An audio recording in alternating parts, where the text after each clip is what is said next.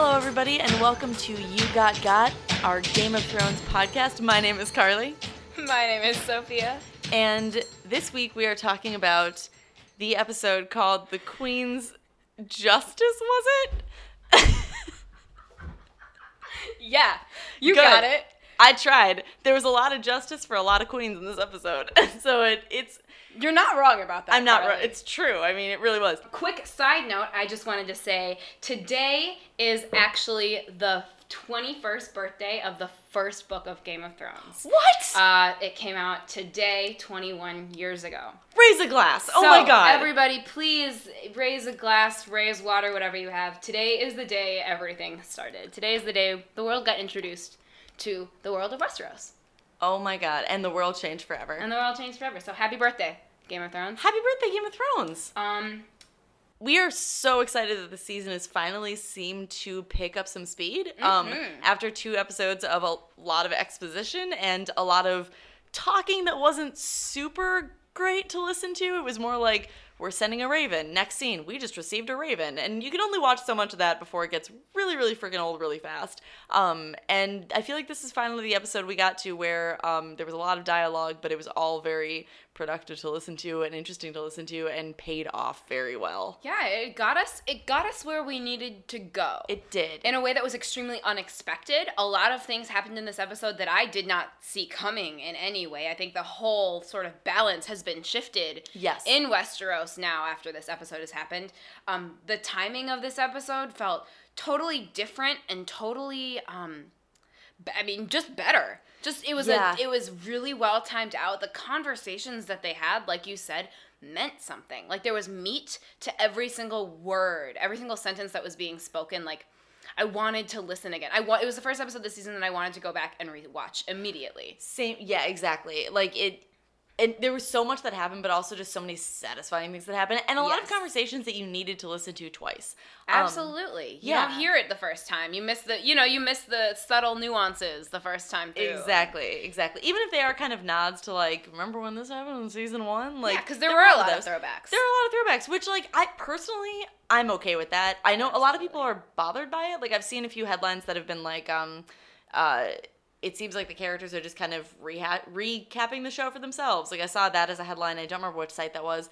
I don't really mind it. I think when you're on the oh boy seventh season is this Yes, the seventh? it's seventh season, baby. Whoa, how? Um, I think when you've gotten this far and when you've worked up to something as big as, you know, these final battles, however they may go, you need a little bit of that. Like, we want to see the show be like, this is where we've been, this is where we are now, where's it going to go from here? And to to extend on that point even further, I mean, it's a complicated show. Yeah. There are a lot of characters, a lot of hidden plots, a lot of caveats in this show that you would not catch the, if you've only watched it one time through. Yeah. As well as like characters that might not matter that actually do matter that you haven't seen in a long time, like like Beric Dondarrion, Thoros of Myr, these characters that you might not expect to see again, that you really you get to see again. Like Jorah, we didn't know that he was gonna be such a big character this season. I thought No. he was gonna sort of take a take a step back this season, but he's rearing to go. He's a he's on his way back to Dragonstone now. As of this episode, he is Oh, yeah. healed and on his way back. You know, and so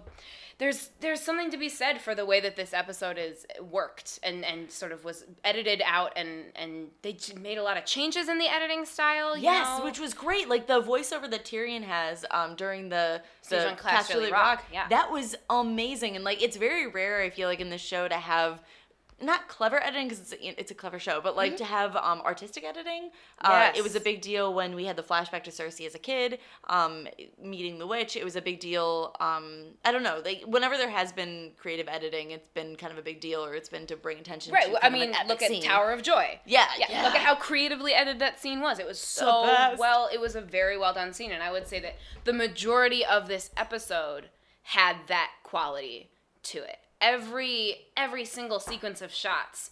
I felt like meant something. The scene where Tyrion and Jon and Davos and Missandei are all walking up to Dragonstone through that long pathway, and they're all they're having a heated like d- conversation. They're talking. They're catching up. They're Yeah.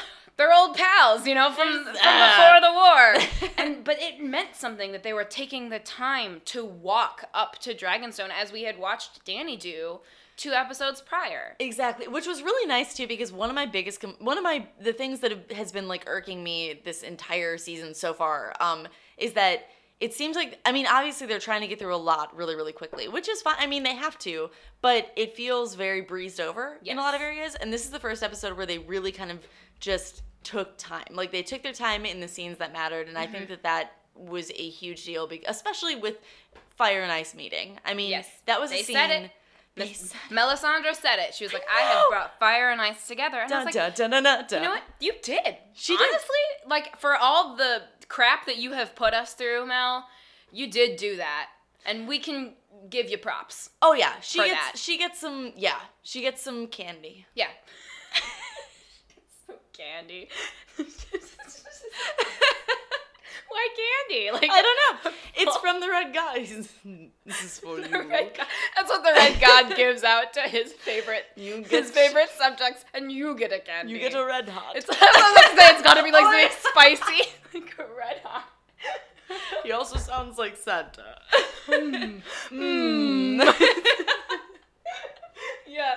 Um, I I I think it's it was a very um, uh, well paced, interesting episode. It kept my attention the whole time. Uh, there was not a scene that I didn't that I thought was unnecessary. Yeah, it, and it was all memorable. Like in the All first two episodes, all I can say is that all this happened somehow. Like we're Eh. and now we're here. It, there was nothing like memorable that really stood out, and this this episode just Like I can't pick Oh. a highlight. no. Well, there were a no, lot of yeah. highlights. There were a lot of highlights. Like I mean, Yeah. yes, Olenna Tyrell was amazing. God. But I honestly think that the conversation that Jon and Dany had was so intelligent and so well thought out and the fact that they took the time i mean that was the first 20 minutes of the episode Yeah. was jon and dany basically just having a conversation about who they are as rulers and that, and you can totally see the fire versus the ice there, right? Like Jon Yeah. is cold and calculating, Ice Daenerys cold the entire time. fiery, and she's she believes that she is number one, you know. And it, and it's really interesting that she made the speech for herself. You know, when she says, uh, "I had faith in myself," in Daenerys Targaryen, she is saying those words. They're coming out of her mouth, whereas Davos speaks for Jon. Yeah. Yeah. Which I mean, I have no problem with because give Davos all the lines. Oh, of please. course, of course. Wait, Please. do you like Davos? I did you not know? I, I no, I don't like him at do all. you know which character that is? who? I Who can't even keep this going. Uh, it's feels too hard natural for me. It's too hard for me. I love him. I love him too much. The fact So that much. he got so like he said so much in this episode, and maybe he took it a little bit too far, but I think that he is just so wonderful, Just so good, so pure. so pure, so, So nice, pure. and kind, and good. Oh yeah. I'm so scared for him. Anybody good and pure in this show? Like, I think he'll be. I think Granddaddy Davos will be okay. I think Grandpappy Davos. Grandpappy Davos. Grandpappy Davos will be fine because they've killed off all of the other characters like him. Like he is like the only nice older gentleman He's the only in the show anymore. So I really think that he he'll stay. I think that Davos is is wise enough and wily enough. Yeah. I mean, he's a freaking smuggler. Like the man can survive. I don't. I'm not worried for him. I don't think that he has any. I don't think once the war is over, I think that he wants to go back to his old life and have nothing to do with this anymore. I think that he has no desire to sit on the Iron Throne. Oh no, no. he has no for sure desire to be Azor Ahai, which is why I think he's Azor Ahai. Like he has Oh. no reason to be in this war except that he's found himself there. You know, Yeah. he's found himself as the right hand man of the king in the north somehow. the king in the north and his right hand man. You have to make a Hamilton reference every, Every single episode. time. No, I cannot. I, am okay with it. Okay, I, I'm good. not. I will never complain. I. That's good because It's gonna this happen. is my shot, and I'm not. I'm not throwing away my shot. that was an admittedly. That was a bad one. Continuing. I have nothing else to say. It has been every episode this season. I've made a, I've made a, rep, a Hamilton Yeah. reference. But I'm not Um, complaining. Um, I'm not complaining about it. But I, I like overall this episode was exactly what we needed, and, and really strong. and like you said, there was not a moment that I didn't want to like leave the room. And sometimes there are points like I mean, I was worried through the whole Cersei torture scene. I was really worried that she was just going to have the mountain do something Yeah. awful to Ellaria Sand or Tyene or you know awful just unspeakable horrible things i was my my whole body was very tense during that entire Oh, God, scene yeah. and when she just chose to do exactly what Ellaria Sand did to Myrcella oh man chills i got chills chills and like sympathy for the sand snakes and for Ellaria that I never thought I would have. Like I feel like sympathy for the sand snakes I, needs to be the crown of this season i think like i never it's thought such an achievement. i would How feel they- that way No, I never did. I was like, I will feel. I I don't care what happens. That I was. J-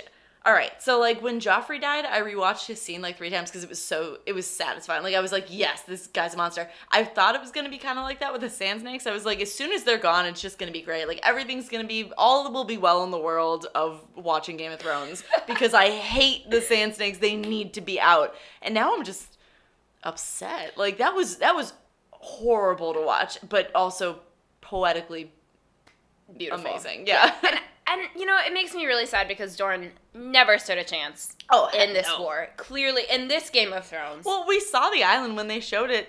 The, the only people living there are like the sand snakes and two other people. Like Right, there's it's very not there. populated. No one lives in Dorne. It's just the Sand Snakes. It's just And, and but I, but I will say, I mean, props to the actresses. Uh, Yes. Indira Varma, who played Ellaria Sand, didn't have a line in that episode and stole the scene. oh god, that's right. She didn't have any lines. She had a she muffled was one, but bound. I mean, she was her mouth was bound. She couldn't talk, and I think that she was freaking incredible. that I- was some thought that- facial acting. yeah, it was it was heartbreaking. It I was really really felt for her. I I felt for her, and and Cersei is horny as ever. uh, it's so bad. It's so I I don't know what's worse actually seeing the scene with her and the sand snakes or and like what she did to them or seeing her immediately turn around. My my problem with that is that I really wanted to see her like wipe off more of the lipstick first cuz I'm real worried for Jaime's like downstairs situation. For Jaime's business. Well, I'm real worried about it. I mean, yeah, it takes hours or days, so we shall see how it. I I- have a feeling that Jaime will be fine. I'm sure it's fine, but Um, like he's a little, he's got a lot more to deal with now than potentially being poisoned. Um, True. he has to go and tell Cersei that he knows who killed their child, and it was not their brother. yeah. Uh, that's a really fun topic. Which I have a theory too about that, um, Mm. for what that's going to mean for Jaime potentially becoming Queenslayer, Okay. rather than I think that's going to play into him being willing to listen to Tyrion. I agree. Actually, I wrote that down. I said, you know, now that Jaime knows the truth, that Jaime knows that Olenna Tyrell, may she rest in peace, Oh my god! Oh my God. Raise a glass. Jaime knows the truth about who killed his child. It's not Tyrion. And Yeah. Tyrion and Tyrion never made it clear to Jaime that he was like, no, it wasn't me. No. He sort of was like, maybe. I don't know. Was it me? I don't know. Yeah, maybe. Um, because it was easier that way. Yeah, It yeah. was easier to say goodbye to his brother at the end of season four. Gosh, yeah, Season four, yeah, at the end of season four, it's easier to say goodbye to his brother and have Jaime hate him yeah. than to have Jaime wonder what could have been. That's true, and I, I think I mean as much as as amazing as the Stark reunions have been and still will be, um, I think that the Jaime and Tyrion reunion is the one I'm probably most looking forward to at this point. I would Um, I would agree actually very very much so because they are two that have duked it out in a way they love each you can tell how much they love each other Yeah, and how much they care about each other especially with Jaime. I mean Jaime and one and we've said this before Jaime is one of the most interesting if not the most interesting character that Game of Thrones has put out because of the archetypal hero's journey and he, you know all the 180s of his personality. Mm-hmm. He's done a lot of messed up things and he's grown a lot. and he, but he's grown a lot. Well, the way he handled Lady Tyrell, like what happened with her, I mean, he the fact that he didn't stab her at the end of that scene, yes. I thought, and the fact that he he advocated for her being like, we're gonna give her a peaceful way to go, basically. That's when Cersei wanted to oh rip her to rip shreds, her to shreds or have the mountain rip her to shreds. or do so got unspeakable ugh. things to her. Jaime would put his foot down and he Yeah. said no.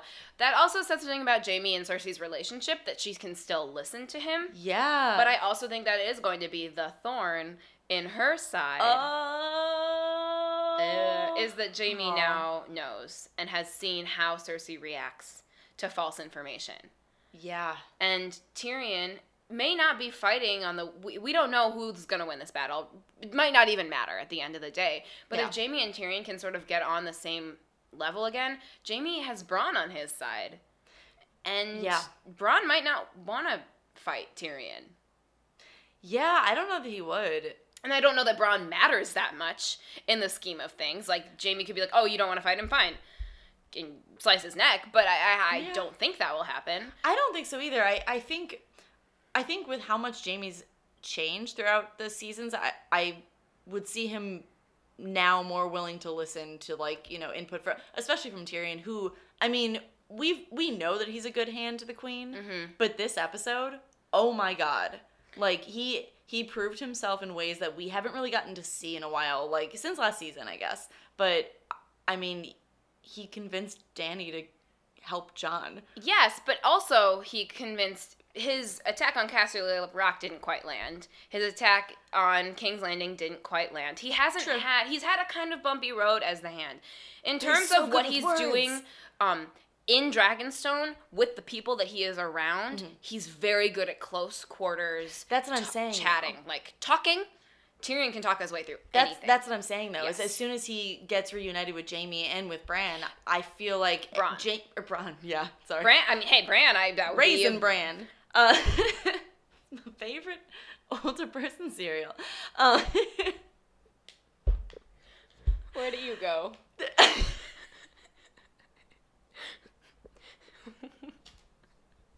Like honestly, I gotta. a different realm. It's dark and full of cereal.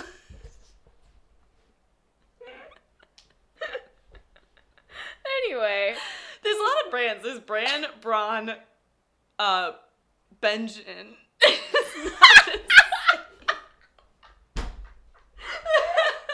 in case you couldn't tell, we're We- tired. Yeah, we're real tired, you guys. okay. Oh my god, that So episode we- took it out of us. Okay. So much happened. So, I agree. Tyrion and Jaime, I think that's going to be a really interesting uh, reunification. Cersei's not going to be too pleased to see him, but I No. also think that that's sort of going to lead Jaime to be the Valonqar. I do believe that Jaime will be the one that kills Cersei. I, I don't think that it can go any other way than that. I also think just title wise, I mean, like I saw this thrown around the internet that he he's uh, on the internet. Oh, the internet. you know it? Oh, Um, the internet! Do you, have you heard of it? Mm, ye old internet. Um, Ye old. the old internet. God. Um, but I totally hold on one second. it was going so well. Um, oh yeah, okay. Heard it thrown around. Has Uh, it been going well? though? It's been going as well as it can.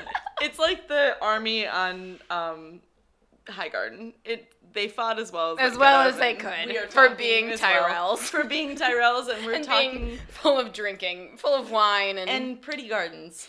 They're so roses. relaxed Yeah, they're so relaxed there. all the time. It's the dream to to go to High Garden. Not anymore, but Not know. anymore for sure. Like Yeah. that's yeah, it's bad territory now. Um, Yeah. but uh, oh yeah. Uh, so Jaime, Jaime. Okay, here's the thing with this season is that it's very heavy on reflecting on the past, and um, I mean, as as Littlefinger brought up, and we'll talk about this. Um, everything that happens will be something you've seen before, and we've Yes. already seen that established in this season. Yes. Um, this season has been very heavy on themes. Um, I mean, we had it sh- So heavy on so teams. heavy Oh themes and and that the main theme is the past looking to the past so i mean jaime being kingslayer i think he'll absolutely be queenslayer next i think that's that is in uh, that's going to happen for him um yeah I I I completely agree. Woo. I completely agree, and I, and I think that it's it's a good um, way to end Jaime's story. Yeah. you know, at the end of the day, to have him sort of come full circle, kill mm. the king, kill the queen, but be but do it for the people. He and Yeah. Euron have a conversation about you know the people and how much they kind of suck. Actually, it's not a very nice conversation, but Jaime is very aware of the people in a way that I think that's why you know they have Varys talk about it. Yeah. There are people in this game in in the there are players in the game that think about the people that are not playing the game. And those are the people that you need to listen to and watch out for. Cersei's not thinking about the plebeians right No. she's not thinking about the lower caste no she, she's not uh, she never will jaime is and i think that that's what sort of sets him apart a little bit and and it's interesting to watch like he has a soul and she just doesn't anymore she literally killed uh, so many people when she blew up the Sept of Baelor. It's not even. It's like, insane. Like, oh my god, that was mass murder. Incredible. Mass though. murder. Cersei, Yeah. Cersei Lannister committed. So I yeah. So anyway, continuing on though, the the idea of themes. Everything comes full circle, right? As you mm-hmm. said before, Littlefinger states in this episode that everything is everything happening is something that has already been done or been seen before. In layman's terms, basically, history is repeating itself, mm-hmm. and all the, these characters are slowly begin beginning to learn that, or having or are having it explicitly stated to their faces, and Yeah. trying to understand it. Like even in this episode, we saw Cersei repeat, you know, what Ellaria Sand did exactly on a much more manipulative scale. You know, it was a lot more intense what she put Ellaria Sand through. However, it's the exact same way that you know she got rid of Myrcella. Um, and Olenna Tyrell died the exact same way that she orchestrated Joffrey's murder. Right. Albeit with less throat grasping and choking, but it was still it was still there. So Right. There was even a little harkening back to um, season one when Ned and Ro- I think so when when Ned and Robert uh, first meet in episode one, Mm. or not first meet, but first meet up. Um, there's kind of a tense moment and then a, a break. Like Yes. they you know start laughing and they embrace. Um, that kind of happened with Tyrion and Jon in this episode. There was a little Absolutely. nod uh, that happened last episode with um, the reflection back on San- on uh, not Sansa Arya when she sees hot pie. what we think And Hot Pie Nymeria. and Nymeria Yep. when she says that's not you. That was a direct reflection of season one. So everything is very much like they're they're, They're not being it secretive They're about throwing it, back. And, and I think I think the the main goal that they're going for here is the only way to move forward, the only way to like win the war is to learn from past mistakes so that they're not remade. This is something that literally like everybody on a daily basis in life reg- regularly struggles with. And it's one of the main themes of Game of Thrones that you can sort of see Mm-hmm. in our own in our own daily lives. Like, you know, there's no White Walkers in our life, but like this is something that we can all sort of like don't make your don't relive your past, right? Like right exactly and i mean if you look at uh if you look at jon and you look at dany too they're both they've not been secret in the show about the fact that these two are very much fighting the past like um in a in a good way i mean dany has been warned ha- was warned by tyrion and, and multiple no not even just tyrion um was warned multiple times don't become your father like Yes. you are showing tendencies to become your father don't do it they've been very very much you know sending that home if that's the right phrase Mm-hmm. uh that she is trying to not be that way she's trying not to become she's not the, the Queen. her dad. Right, but then also there was a point brought up several times with Jon where Sansa kept saying, where point he he specifically said people keep saying like don't make the mistakes your father made, Mm-hmm. and he does all of the things that people tell him not to do because they were what they you know connect with Ned's Yeah. end. Right. So I think that's kind of interesting actually that Jon almost seems to be maybe fighting that or maybe learning from mistakes of the past and repeating them and doing them better. Doing Like, I don't different really doing know. them differently. He's Right. he's learning from his mistakes in a way that I think some characters might not be. Right. Um, right. I, I think that it's also one of the reasons that um, Bran is fixated so much on the past. You know, um, he truly believes that if he can find all the answers, everything will be okay. But by meddling in time, it's gotten him into deeper trouble. It's it's started the vicious cycle. Like it's a total. It's a total. Game of Thrones is just literally the epitome of a vicious cycle, Yeah. right? If, especially if we are believing and like holding to the fact that this is all Bran's fault. Yeah. That that he is the reason that the Mad the Mad King went mad. He is the voice that the Mad King was hearing. Um, all he wants to do is all Bran wants to do is be able to relay and understand the information that he has in this storage locker that is full of infinite knowledge.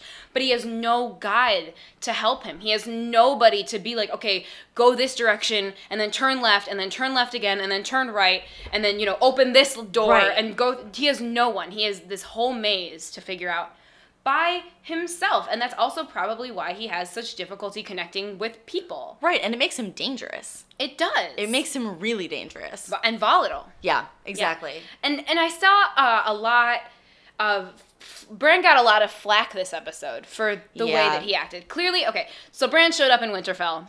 It was awesome. It, oh, it it was, was it was wonderful. It was I mean, amazing just to see Sansa's reaction. I mean, like for the, this poor now woman has been through so much, and Yep. to see her see that her one of her youngest brothers is still alive, and to see her kind of break a little bit and like cry. I mean, that was kind of a kind of a nice moment because the way that you see the Starks now. I mean, they've been through so much that they're they're kind of stone cold, and like They are. You can't blame them. Like they've had to be. That's survival. But it was nice to see her kind of um, have this tender moment and and kind of break down when she saw him. I mean, that's what I thought. I agree. You allow it's. I think it gave Sansa, Sansa a little bit of hope.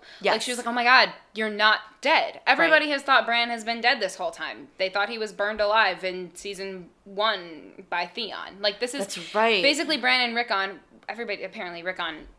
They found out Rickon was okay, but Bran, he was a cripple. Right. You know, who escaped, who got burned alive or escaped into the woods, but he still is a cripple. He has, he cannot move his legs he probably everybody thought that he died. Sansa had come to terms, had accepted the fact. She had she had gone to, through the phases of acceptance and all through the, all the stages of grief, you know, and now she gets her brother back. yeah.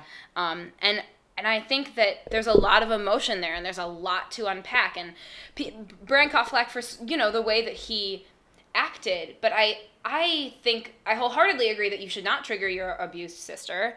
Um, But I also don't think that the I think that his sentiment was there. I think that you have to remember Bran did not sign up for any of this. No, he didn't. And I will also say to you, we don't know what else he has been delving into, like past wise. Like we, I mean, it doesn't even really matter how much time has passed in the show. It more matters how much he's, how deep he's gone into Yes. being the three-eyed raven. Because, um, yeah, I mean, we we we only know how far. We only know what like we've seen with him going back in the past. We haven't. We don't know how far back and and how much he's been thinking about it in the time since we last saw him. Right. We have no Um, idea what he's seen since then. We don't know like how much does Bran know? Well, that's the thing too. Is like he saw her wedding. I mean, what else has he seen? Like, how far back has he has he gone? Right. How much has he seen from you know the recent past that kind of filled him in on what's happened in the show so far, pretty much. But also like, I I don't. Yeah, that's it. No, I, I, I think it's really interesting and- I think it's going to come out yeah, more as Bran sort of uh, gets used to life in Winterfell. I don't know if he's going to stay. He said that he doesn't want to be the king of the North. He hasn't the king of the North. He has no desire to No. be Lord of Winterfell.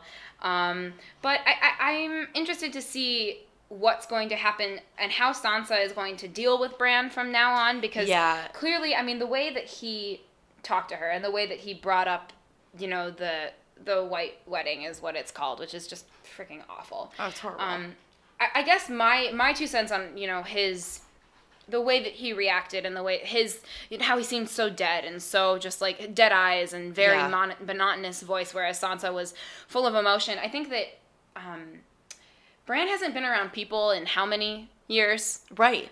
Like the only people he's been around is the children of the forest and the three-eyed raven. You you only need to like look at him to see that he has gone through some stuff. Meera learned how to talk and act around Bran because she's his protector. She is the mm-hmm. only one that can keep him alive.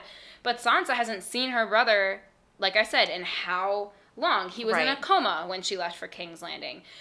Bran, on the other hand, has, like you said, seen everything. He has mm-hmm. seen what Sansa has been through. He knows how she felt. Maybe not how she felt, but he could see it however he saw it, he knows what she was feeling and went through in that moment. And that was the probably lowest moment of her life. It was the moment she was being violated and assaulted, and she felt so, and being, and someone was watching. Right. You know, it wasn't just at the expense of her. And so that was to, and so maybe he, Bran, on some level was trying to be like, you know, you weren't alone. I was there for you. Right. But this is a show written by two men. Yeah. So you're not going to get very far with it. You're Mm, not going to get what yeah. you want. And Yeah. and so I think that the sentiment for Bran was there. It was just not executed well. I don't think that he's that much of a dick. I just can't believe that Bran has gone from when he talked to the three-eyed raven, you know, about seeing his Lyanna and seeing his young young Ned, he was seemed so alive and he's really lost the light in his eyes over this past however long it's been since the three-eyed raven died since hodor died you know Yeah. and and so clearly he's aged but i want him to sort of realize that he's with his family again and maybe everything won't be okay but that for now he's home I don't really know. How, okay, this is gonna. This might sound kind of cold, but I don't really know how much home means to him anymore. yeah yeah that's fair I mean, I really, I really don't. And I'm not saying that because I don't want to see him kind of be like, oh, right, this is home. Like, I remember who I am, but Poke myself in the eye there. you got this. Uh-huh. You're the one-eyed raven now. That's what I've always wanted to be. it's true. Ugh. I mean, it's gonna sound really hippy dippy and like very like, uh, I don't know. It's gonna sound like I said, it's gonna sound kind of hippy dippy. But I feel like once you've gotten the ability to kind of like transcend all of time and like everything, I feel like pl- like any one place, even if it's your home, doesn't really mean that much anymore because you've seen like. You've seen that place before it was your home. Like you've seen that place long before it was your home. Probably. Like Yeah. we don't. Again, we don't know how far back he's gone. He knows things now about his family that nobody else knows except Ned, and Ned's not talking to anyone. Yeah, Um, I I mean, I guess my only thing about not knowing as far as he's gone is we can only harken back to what the OG Three-Eyed Raven said. You know, if it's if you go too far, you'll drown. And That's what I'm Bran hasn't happened. drowned yet, Well, or has he? Has he completely lost his mind and is just totally not Brandon Stark anymore? Is he just the Three-Eyed Raven now? maybe. I mean, because even the if you look at the three-eyed raven, the three-eyed raven in his tone and like the way he talked to Bran, he didn't sound deadened inside. Like he sounded like a person. I mean, he still said Bran doesn't, and Bran has not been at it as long as the three-eyed raven or the former three-eyed raven has been. Right. Um, I think he showed. I think that it might be his way of coping. I mean, he was thrown into this situation. You know, we've seen we've actually seen a lot of interesting like mental health stuff on the show. Like we saw um, Theon. Everybody, a lot of people accused him of being a coward, where really he had a very severe PTSD, PTSD reaction. reaction. Yep. Exactly. Ah, Psychology it is. buddies. Um, but he had a PTSD reaction. Bran, this might be a. I mean, maybe he's drowning a little bit, which I personally think he is. I think I think he's It's kind too of much giving up. It's too much Information overload. Information overload, and also just giving up like earthliness for like being this new kind of being. It just all Um, that doesn't matter. The material things do not matter. doesn't matter and i think when you have access to all that you need to kind of let go maybe of like Yeah. who you're close to and that's sad but And he I think already maybe he has, has. and so now it's who now they have to let go of him. yeah But they just got him back.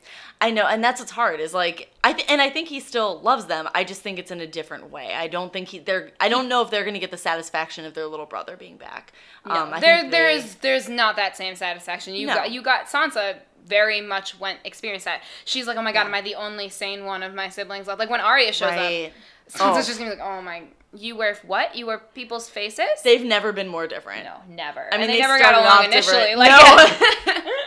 yeah. Um, I'm hoping that Arya just shows up and quick kills Petyr Baelish, and it's done. i have a i have a theory about that Ooh, i don't think it. she i don't want her to be the one who kills him Okay. I really wanted to be Sansa, and I have more reason now for wanting it rather than just like you know her own revenge. Um, I could not stop thinking about Littlefinger's scene in this episode. I have never, I have not thought about Littlefinger as much as I have in this episode, Hmm. um, or uh, in any season as I ha- as much as I did in this episode, if that makes sense. Totally. Um, and I was just totally fixated on what he said, on his quote about um, everything that you'll see has happened before. You've seen it before. Um, every possible reality is going on at once. He became like Schrodinger, like very, very quickly, and it was it was weird. Like we know he's kind of had this philosophy, and we've kind of been led into it a little bit. Um, but it stood out to me because right now in the show, I feel like we have the ones who are fighting and the ones who know things. Yes, and I- absolutely, yeah. yeah, and I feel like it's strange because I think he gives this facade of knowing things where really I think he's actually more of a pawn who needs to die at the hands of someone whose life he's kind of screwed up to put things back. exactly. I'm all for Sansa murdering Yes. Littlefinger Well, and I I think that this season kind of has set or that protecting that herself and having somehow killing him. Yes. Yes. Well, exactly, and it would be symbolic because if you look at why all of this started, it, Littlefinger was the fault. it's his fault. I mean, we can we can blame Bran on it, and Bran. I mean, for a lot of this, I would I really like the idea that he made the Mad King mad. I love that. But if we're talking about the events that started when Game of Thrones started with Ned Stark dying, unless Bran had something to do with Littlefinger's upbringing and driving him to do what he did with by basically messing with the Stark family. Um, which I would think I would like that. At That'd be point, really interesting. At this point, I will believe that Bran is the the father of chaos, right? Yeah, like yeah. he is he is Loki. He is the bringer of chaos. He has Right. done all of it accidentally. He does not mean to. He is, but he Right. it is his all Like I would that is that would be the best ending to this show for me. I completely agree, and I actually think it's really interesting that in this episode they had a scene with Littlefinger saying his whole bit about um everything we've seen before will happen again, and then they immediately showed Bran pretty much saying the Well, same thing. yeah. Because here's what I thought. Here's what I thought was interesting about that is that I think they're very similar in that they both seem to have the same philosophy of using the past to learn from Mm-hmm. but the difference here is that bran has the sight and peter doesn't like it's almost like peter's operating blindly just like this is my belief whereas bran has the tools to actually go back in the past and, And mess around learn around and learn about it and mess around. Right. mess everything up. Yeah. exactly so they've both shaped events Yes. like bran and peter have both shaped events but i think that um my my whole final theory on on petyr baelish and on littlefinger well and littlefinger is the same person but my whole theory on littlefinger Peter Petyr Baelish, aka Littlefinger. AKA, exactly. Um, you all know. Um, I think his purpose now in the show, I think the only remaining purpose, because trust me, I dug and dug and dug. I tried finding what his greater purpose might be. Maybe he's he's kind of like a red priest. Like maybe he has that kind of belief because he and and uh, Melisandre kind of have similar scene, scenes in this episode where they're both this all knowing like. yeah. But I think omnipotent sort of. yeah. omnipotent. Yeah. I think that Petyr Baelish's biggest role in Game of Thrones now is that he set off this this chain of events. I think he needs to end it by being murdered by the person, the one person who reflects whose life he messed up from the beginning, which is Catelyn's. Yes, and that is Sansa. That is Sansa. Sansa mirrors Catelyn. Right, exactly. This and that's hair- the past coming back. And even in this episode, her hairstyle was how Yes. Catelyn styled her hair in this in the first few seasons. It Exactly. was very harkening back to Catelyn. Catelyn has been around a lot this season. yeah, Mostly people have been speaking about her, and but in flashbacks, you know, she's been shown a lot. She's around. So even though She's they, like, around. even though they didn't do Lady Stoneheart, it feels like Catelyn is not quite dead. I think Sansa will be Lady Stone. I think we talked about this a couple episodes ago, but I think that Sansa's gonna take up the Lady Stoneheart. Because I said that was Arya, but it sort of seems that Oh, her right, daughters are instead Lady Yes. Stoneheart, as opposed to just one person being Lady Stoneheart. The idea, the vehicle of vengeance, is that the Stark girls can carry it out themselves. Exactly. Yeah. No, I yeah, I completely agree, and I would love it to be Sansa, just because if you look back in into Littlefinger's past, it's all about like he loves Catelyn. E- everything he did, like how did he? I mean, he said it. Oh, it's so nasty. He's so nasty. He's so nasty. He's the reason Ned Stark died. He manipulated um Lysa. He's the reason into, Lysa is insane. He's the reason Lysa was insane and is dead. Um, he's the reason He pushed Lysa out of the moon. he pushed door. her through a hole like it's horrible um he is the reason why uh, i mean he got really nervous when sansa when the maester said that they have records of every of every note that every raven has brought to winterfell because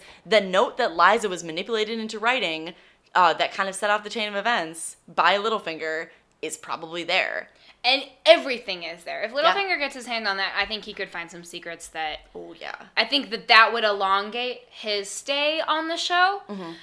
My big question for Petyr Baelish is why what what is he now? Why does he matter? Who what is his character now that he has helped win Winterfell back from the north? That's for what I the- think- for the Starks. That's what I think he is. He's the restorer of Right. balance, and to restore balance, the balance that he threw off, Sansa needs to murder him because He the to be image of. Catelyn needs to kill him. yes. That's what I think. And and Lady Stoneheart can't do it. Why not the spitting image over? it, You know Exactly. I I think that's a really excellent theory, and it just once again it just brings it all full circle. It's this Yeah. whole idea of history repeating itself, but having slight changes that Improvements. im- that improve the outcomes. Yeah. basically. So I I think that that's fascinating and.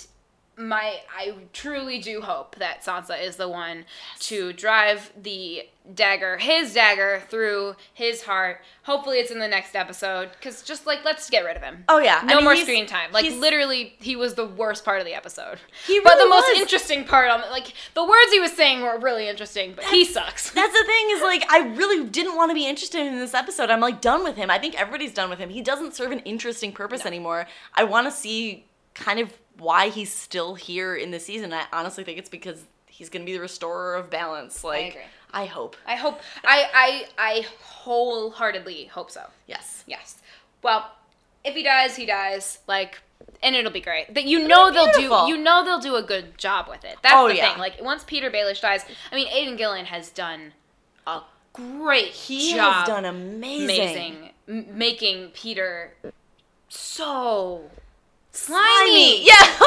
Oh, that's the second time we've done that tonight. Oh my god. Yes. Perfect. roll. But um, so speaking of death, let's switch gears again because we got to keep going with the episode. Got to Of keep course. this, keep it going because it's Game of Thrones we're talking about here. We were treated to not one but two castle sieges in the Queen's Justice. Indeed. We actually got to witness the sacking of Casterly Rock by the Unsullied, and unfortunately, House Tyrell finally fell Didn't get to see as them Jaime get took attacked. hi- to Highgarden, just as Robb did in the Whispering Wood. Yeah.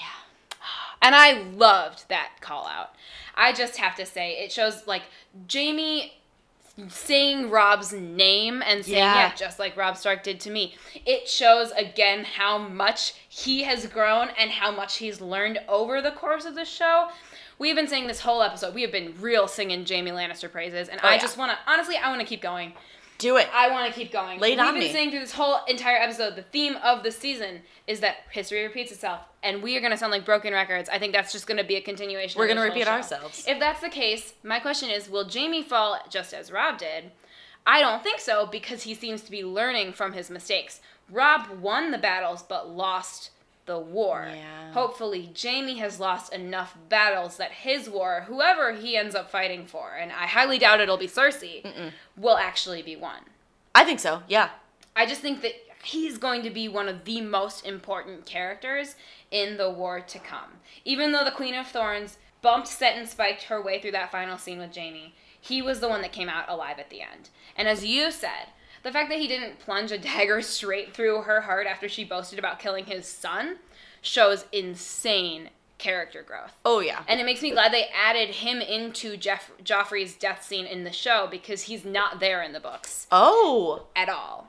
So I it so finally it resonated with me. I was like, this is why they did that.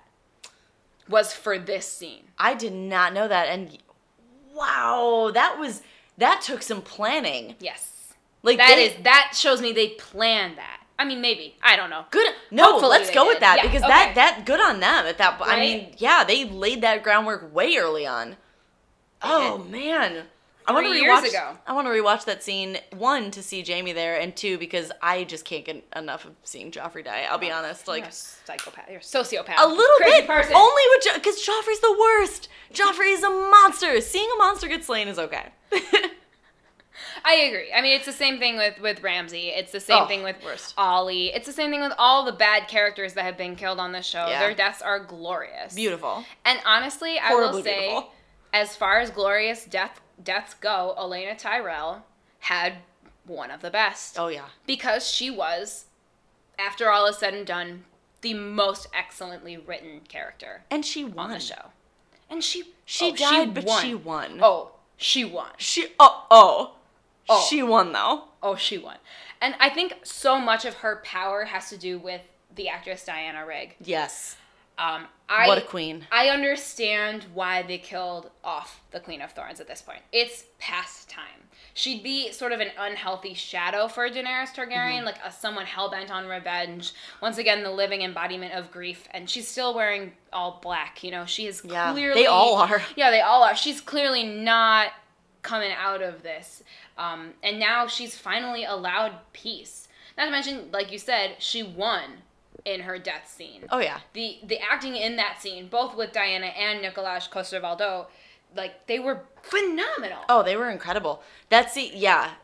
Yeah, I have nothing else to say. I'm just, I love that. Really, scene. I don't think we have to say anything else. They both have showed how Jane. I mean, Nicolas Coster-Waldau honestly has just taken Jaime and given him something so much more interesting than honestly the books ever did. And, and Uh, when it comes to Jaime, though, I've heard that in the books, I've heard he's way more interesting in the books. Would you say that he's grown more in the books or the show? I would say in the show. Okay. completely.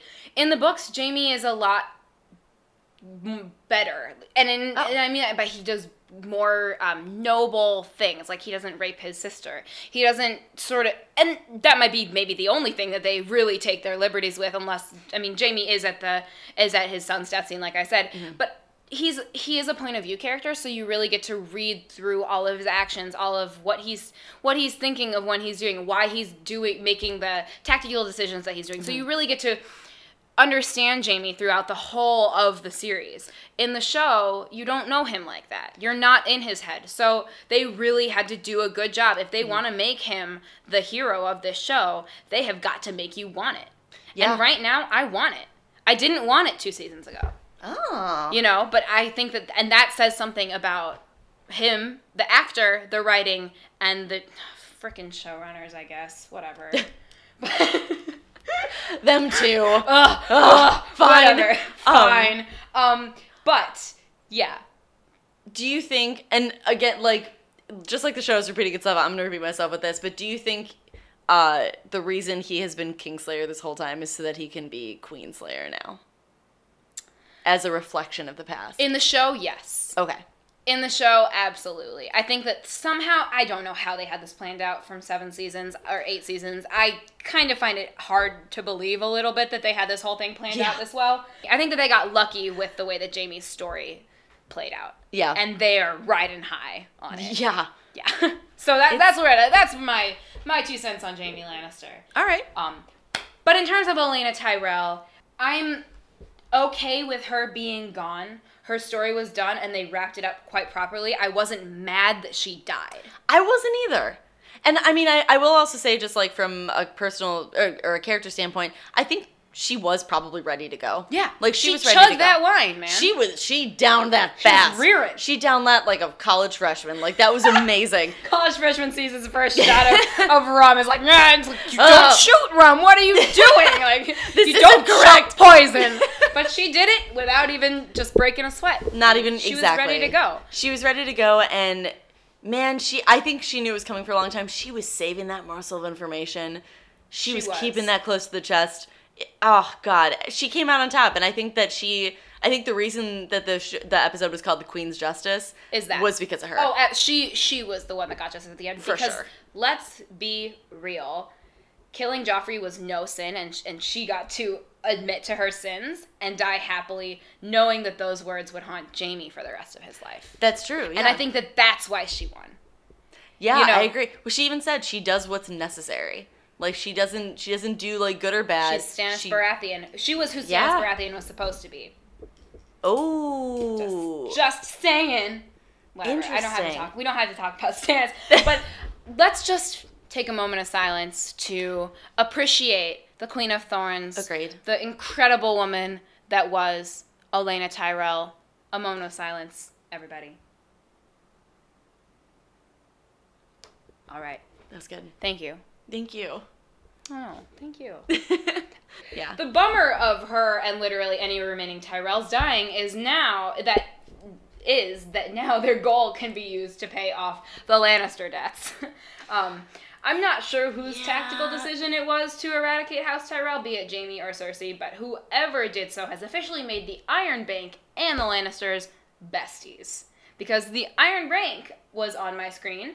Uh, so was Mycroft from uh, Sherlock, aka Mark Gatiss, who I, Oh, yeah. I, I truly love. War is really good for banks. Banks really enjoy war because it means loans. Yeah. I'm not surprised that the Iron Bank has once again shown up. How that Tycho Nestoris, that's Nestoris, that's his name. Tico Nestor, Nestoris, Tycho Nestoris, that's the character's I, name. I blocked those scenes out. So I, I just I just like it was I was like oh money situation and I just blocked him out. I was like this isn't helpful for me to. I just thought it was really interesting that they're they're finally um, they're showing up again. It doesn't Yeah. mean that we can just write off the Iron Bank, Bank of Braavos. Uh, this is their time to shine. They're about to get paid back by the Lannisters, so I have a feeling that they are going to be another ally for the Lannisters in this war. yeah. Um, yeah. So I don't think that this character is one that's going to go away anytime soon. So I would just say keep an eye on him. You see him like sort of grinning in the next episode. So um, He's just Mycroft. He's just, He's my, just he's always just Mycroft. There's not even a question. Like he's just always going to be Mycroft. You yeah, know? totally. Plus, like British actors, there are twelve of them. How- There are five settings for all of British TV, and there are like three writers. I'm shocked David Tennant hasn't been in the show yet. I, I maybe he has like as an extra somewhere. Like so, he's got to be right. now it's time for a rewatch. Oh my God, yes. IMDb Who? No, I'm gonna go back and rewatch it. Make sure that David Tennant wasn't in. The Tenant search. I like it. The Tenant. The tenant Search. search. All right. So, um, continuing on in this episode, Back in the Citadel. Meanwhile, in the Meanwhile- Citadel, Me- meanwhile, it turns out Jorah is doing a okay. Sam's gutsy act of healing paid off, and according to Archmaester Ebrose, Jorah is healthy enough to get the F out of the Citadel yeah. and back into Dany's good graces. Ah. He did, yeah. He loves her so I mean, much. he did what she ordered him to do. He did. He got he got better. And and I have to say that this scene might have been my like favorite little kernel in the whole episode. The whole, Mm. this episode was so grandiose. There were sweeping statements, sweeping shots, crazy fights that went down, Great voiceovers. great voiceovers. Oh my God. Tyrion. This scene was so simple. It was three men talking really kindly to each other Yeah. and I just loved it. I thought that the so much of Game of Thrones is filled with spite and dripping with sarcasm, and there was no hidden meaning in anything that any of these men said. And the handshake that Jorah and Sam share was so poignant. Yeah, you're no, you're totally right. And it brought it back to like the individual too, because what we're watching right now is very much on a macro level. It It's- is. Yeah, like but remember, we're but these are the characters we've been watching since Right. the, since- the beginning. we love them. they have to have these tiny conversations that don't really mean anything. Jorah has to cla Jorah never thought he was going to touch a human being again. Right. You know, this is very and although that's a small scale, that's not something huge in the Mm-hmm. world. He believed that he was honestly he was never going to touch a human being again. And so to touch Yeah. Sam and like cra- clasp his hands like 50 points to Hufflepuff, man. I, man, I I got to say like that's just my jam. In fact, Hufflepuff just wins the House Cup. Let's just give it to him. this is the one scene they gave Hufflepuff to write, and they were just like, "We're gonna make it really friendly." Exactly. That is Sam. Sam is the uh, epitome of the Hufflepuff house. Sam is I- very much a Hufflepuff. I, yeah, I, I know they give him Gryffindor. People give him Gryffindor, but I'm like, you know, he's very. He's not that. He's brave, but only when it's absolutely required of him. I don't know. I would say, you know what? I think he's a Ravenclaw. I thought so too, but I also think he's a little too bumbling to be a Ravenclaw. I think he is the perfect embodiment. Look at Cedric Diggory. He was a freaking Hufflepuff. You know, like you get good. You like Ernie Macmillan was a lovely Hufflepuff. You get good Hufflepuffs, and they're sweet and support you. Like Hufflepuffs are exactly who you need. He's the one. Like yes, he's writing the story, and that is a super Ravenclaw thing. But at the end of the day, Hufflepuffs are just good. They're inherently good people, and that is what Sam is. I agree. I also still think he's a Ravenclaw. He's a Huffleclaw, fine. He's a Huffleclaw. I like that. A That's Raven Ra- He's a Ravenpuff. he's he's a Ravenpuff. That's what Sam is. That's what he is. Sam That's is decided. Yep. Um, I think that uh, how much money do you bet though that there's going to be some critical information in those manuscripts Oh, that he has to copy Oh, the, the way to that help him win the freaking war? Oh you my god, the way that, that he was like, oh, you don't expect a reward, do you? Except it's hidden in the books. Just do your reading. Just read it Just all. do your homework. Do just your read. job. Just read. Basically, anything can be solved by reading. Seriously. In in Westeros. he also like his okay. As soon as he said, they were like, how did how did you cure him? And he just goes, I read the instructions And I followed and them." I did it. and I followed. I them. followed them. I was like, you know what? If everybody in this world did exactly that, maybe we wouldn't be in this situation. There wouldn't maybe be that read many pay YouTube. attention. There wouldn't be that many YouTube tutorials. My God. There wouldn't be. Pinterest would be a non-starter. That would not be. Everything would- would be out of business. Never mind. That's, That's a really true. bad idea. It's Sorry, we shouldn't read instructions. we got it wrong. Never. We build the IKEA furniture the way we want it. IKEA furniture the way we want to build it. Okay. You get a bookshelf, you build a table. It's all just about being creative in the end of the day. exactly. Yes. But except for Sam. Sam gets it done. Solves any problem by reading. He does. He really does. He's gonna save the world by reading a damn book. And Like I love it. it's great. I'm ready for it. I I'm sorry. I'm ready because he's changed so much and he's come into his own. and He's freaking brave. I don't even think that he's changed. I think that he's just become a stronger person. Yeah. Like a stronger at like personification of Sam. I don't think that Sam at his core has really changed. That's that true. It's more he's in a place where he can thrive. He's in a place where he can he can show his bravery in a way that the environment allows. The Night's Watch did not allow him to be Oh no. as brave as he wanted to be. Now he's surrounded by books. He can do anything. He can do anything. Yeah, that's a and that's the that's the truth of life. Okay, Right there. Reading Rainbow. Um, but thank God Jorah is heading toward Dragonstone Yes. because it really seems like Dany is severely lacking in a military commander, given the fact that her last two attempts to attack the rest of the Seven Kingdoms have both failed pretty Very quickly. miserably. More than half her Greyjoy army was destroyed. Yara was taken prisoner. Mm-hmm. Ellaria and her children were killed. Theon is alive, but he's Yeah. alive and as well as can be considered given what happened. And Exactly. Grey Worm and his unsullied army are trapped on Casterly Rock, about to face off with Euron and his gaggle of fun-loving friends. And if they survive that, they get to march all the way across Westeros Oh god. to be reunited with Daenerys. Luckily, though, Jorah is an extremely skilled military technician. Tactician. The only question, he's just not at Dragonstone yet. Right. So she can't. She doesn't have his guidance.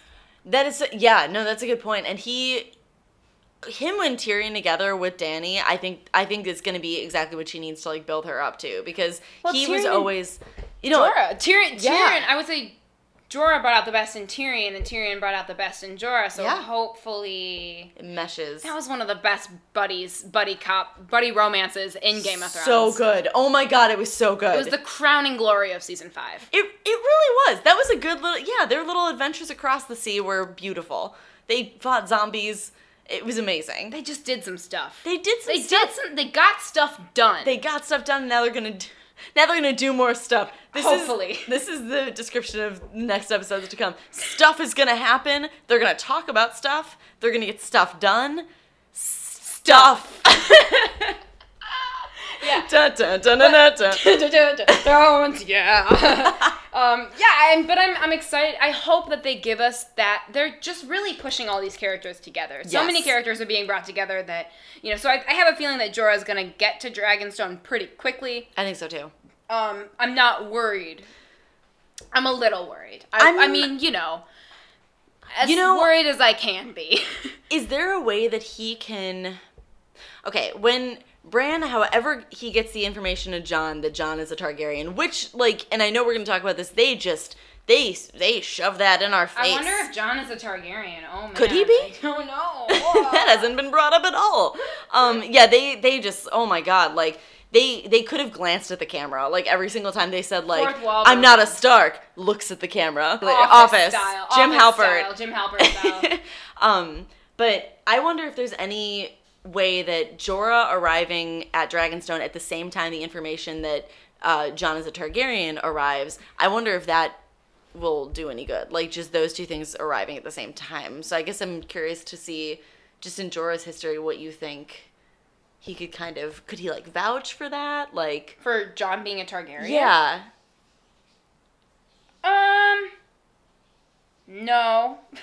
Okay. Probably not. Because it does seem like they're going to get there at the same time. And maybe that's just like all of the necessary pieces of information to build Dany up are going to converge think at the same time. I think basically it's just going to give Dany what she like Dany Okay, the yeah. I think the arrival of that information and Jorah hopefully at the same time is just going to give Dany the light that she needs to sort of fight through this first really tough that she's lost its first battle. I Yeah. mean, so she needs to come back.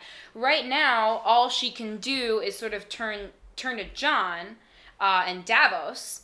But, you know, it's going to be a little difficult to to get them on her side. Hopefully, I mean, I doubt Right. it. I doubt it. She already gave them the dragon stone that they needed. Right. But at this point, after all her trumpeting about being the rightful ruler of the seven kingdoms, she has to prove to them that she is can be trusted. well, and that she can change course now that her And listen. greatest assets and listen, now that her greatest assets basically and I'm I think she still thinks her greatest assets are her dragons. They're not.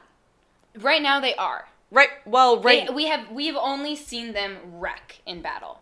They are her trump card. True, but I don't think she's going to win anything with them. I think I, I, think, she's she gonna win if she one battle, but I don't know if she'll win the war. No, because she doesn't. That's. I mean, Ver, I think it was Varys who said this, or maybe Tyrion. Um, she doesn't want to do that. She doesn't want to pillage and, and destroy half the city to She's not a own conqueror. It. She's not. I She think she, she is a conqueror. I don't think doesn't she's want a. to be an, a vicious conqueror. Right. She wants to be. What was it? She's not a monarch. She's a revolutionary, is what Cersei said. okay. I see that as a positive thing. Yeah, I don't yeah. see that as a negative thing. Just because she doesn't know the way that Westeros works doesn't mean that she can't be the leader. Yeah, that's true. But she needs to listen and learn. She needs to prove that she's not stuck in her ways. She went out of her way to ask forgiveness forgiveness from Jon for the actions of her house, and I don't think that Mm-hmm. she would have done that a few years ago. She called Tyrion out on being a little faker, and he cops to it. Yeah. You know, she might not have done that to a. For, she's always been fiery. She's incredible. But the problem is, she just needs to get off of her high horse. yes. Oh yeah. She's got to prove Shave off a few of those names. yeah, take off. Oh my God, she's and, and you got to prove that you can rule Westeros, and she learned that the hard way. And Mm-hmm. I think in the next few episodes, we're gonna see her really batten down the hatches and spill some blood. Yeah. My fear is that she will lose one of her dragons along the way. I At least yes. I, it's oh, probably think- gonna be Drogon. I think she's. I think. uh I think she's definitely gonna lose Drogon. Yeah, because I mean, she's gonna send him, you know, front front of the lines into He's battle. Feel always like. been front and center. He Yeah. is her firstborn. He is her Yeah. baby. Drogon will probably die. No, that's the theme of the show. If there's something that somebody loves, it's gonna be it's gonna be George R. R. Martin, like Yep. so quick. Amen to that. And uh, but the thing is, every single war has its casualties. So in order to win the war, you have to change history. Houses Starks and Stark and Targaryen are going to fight together, are going to join together and fight the Lannisters instead of fighting against each other. Right. And I think the only way they can do that is when the news arrives that Jon is For sure. half No, Targaryen, half Stark. I no, I, I completely agree. Um, I like that he's still there because I was gonna be Yes. so upset if he had to like Just leave. le- and, up and left. oh my god, I was so I was gonna be so upset. Um, but uh, I and yeah, I mean, like we like we've been saying, it's um, it's part of that whole like history repeats itself thing, but not in the sense that history is happening again. I think that's I think there's a lot to be said too for the houses crumbling. I mean, like the whole like the idea of the seven kingdoms is not really a thing anymore. I mean, they as we talked about last week, right. it's all coming down. Just like the wall, figuratively, the houses, the major houses of Westeros are also crumbling. crumbling or merging. I mean, Or like you have houses like working together now. That in the past, I don't, I can't have ever seen that happening. Especially two houses that weren't allies in the past. I mean, Targaryen and Stark. Those Mm-hmm. Never. They fought no. against each other in Robert's Rebellion. Exactly. There were literally, I mean, Starks were the Baratheons' hugest ally, and Right. the Targaryens were not. And so I, I think it's very interesting to talk about merging houses. Mm-hmm. I don't necessarily think that they'll merge. Um, there's a theory running around the internet that Jon and Dany together will get together and have a baby, and that will be the Azor Ahai, No. the Conqueror, and Wait, that just makes me Right. feel uncomfortable. no, no, no, no. They can't. That's okay. I did you see any chemistry? Because No! first of all, there should not be because I- we know what he is. I- we know he's a target. We know he's his. We he's know her he's little her baby nephew. He's her nephew, and there were so many Ugh. harkens to like Rhaegal was, you know, Jon was chosen by his people to lead, and Barristan Selmy told Daenerys, you know, Rhaegar was chosen. He people followed him because they believed in what he stood for. Yeah. there were a lot of harkenings to Jon being Rhaegar's son. I mean, Rhaegal freaking freaking flew over him Right. right when they said she said like Oh God, that was Rhaegal, wasn't it? yeah, that was No, that was no, Drogon. There were all of them. They all flew All of them, over. that's- yeah, They that's all true. flew over. Well, and They then he goes, "I'm not a Stark." No, because you're a Targaryen. That's when the and Q dragons. No, um, I just I don't think that this the lack of sexual chemistry has anything to do with Emilia Clarke and Kit Harington being bad No, actors. no, it I think doesn't. it's the way that David and DB are writing the show. I I- no, I agree because I, I mean, And you are know, I directing am it. exactly. I am one to ship people together. Know like you ship even some weird stuff. I ship some real weird stuff. Even like, and okay, I'm gonna ease into this. Like, I don't ship Jaime and Cersei. I don't. I don't ship them. It's really gross. But and you creepy, understand it. But I get it. yeah, no, Jon I, I and get Dany. It. I get it too. I, I get it. They're both very pretty. It's like okay, and they're sure. twins. They shared a freaking woman in this in, in in this country. Incest is not as weird as it is Right. in our world. Exactly. Still weird. It's but, still but weird. It's Also, still weird. Also, like I'm kind of like okay, like I can see chemistry there in a real weird way. Mm-hmm. With Jon and Dany, the the vibe I got immediately was these are two people who can work Aunt together. nephew. Aunt nep- yeah, take care of his little Very baby face. clearly, like yeah, aunt nephew. Like you two have a familial vibe. If Yes, anything. they do exactly, and that's actually really hard to pull off in a show. It is the fact that they don't have any sexual chemistry. I'm into None. it, and I also think that a baby would be dumb. I don't want our main heroine to become pregnant. No. that takes the fire out of her and puts it in a child. Right, That's she becomes a, a vessel for a something vessel, else. right? And like I'm no, just, I'm not interested in that. No. If if the baby, if they are Azor Ahai, let it be them together as the two individuals that we have watched over these past seven years grow, and Right. not some dumb baby that no one really cares about. Right. Don't make this the end of Twilight. Where the, I'm really sorry I even brought that up, but I, that's It's right, just what but I thought no, of. I agree. I the agree weird- because that was Twilight. You know, the books were fine. I read them all. I'm not gonna. I did. I'm not gonna lie to you. I did read them.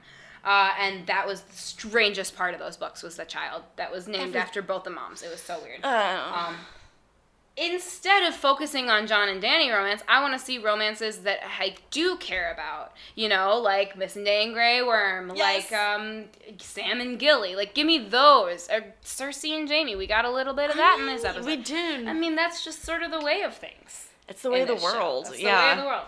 I am happy to see the relationships working out right now are like the pure and beautiful ones, like Sam and and uh, Gilly, Gilly. and Grey Worm and Missandei. Like, Hopefully, Grey Worm survives. God, I hope- I don't Oh, think he will. They're real, I- they're real far away from each I other now. I don't think he's gonna be okay. I think we have very much covered this episode as much as we can. There's, Inside and out. There's so much more that we can talk about. I mean, like I said, this episode is the rewatchability of it is super, super high. So with Oh, yeah. that, I ask you, dear sweet Carly, what is your beard rating for the Queen's Justice? Justice. My beard rating for this episode is a Khal Drogo because it starts out separate and comes together in this beautiful braid. Because just like the characters, Everything is everything is connected. everything's connected, Dirk and Gently history style. repeating itself. History know. repeating itself in a beautiful braid. History. The world is just a braid of hair. The world, the world is just Khal Drogo's braided hair. Who? I mean, yeah. That's fine. That's the, that's the philosophy I live by, and Um, my, myself, I think I've actually given this one out before, but I am going to give the queen, the Queen's Justice, a Bronn because it was effective and got the job done. Uh, plus, he was quoted in this episode. Tyrion quoted him, but Bronn himself did not get a line. So it's he sort showed up of, though. We saw him. We, We, saw, his him. face. We saw his face. So, but it's a little bit out of solidarity. Like I saw you, man. True. I feel you.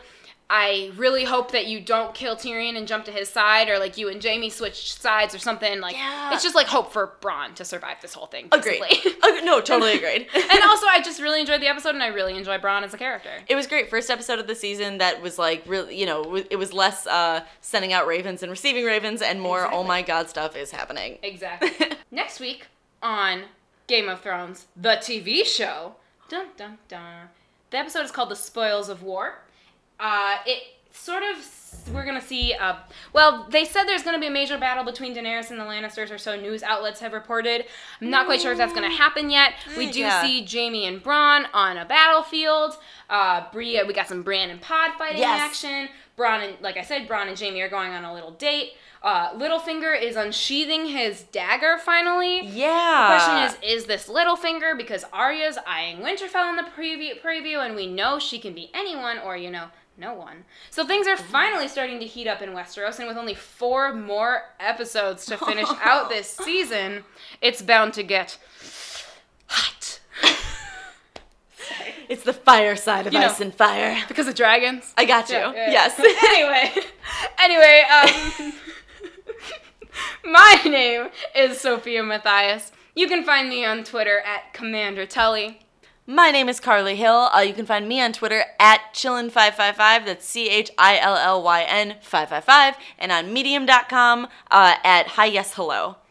And please do us the service of following our Twitter at YouGotGotPod. Check out our weekly poll, vote in it. We'll talk about the results in next week's episode. But that's all for this week. Thank you all so much for tuning in. And remember, The night is dark. but full of Davos. Yeah.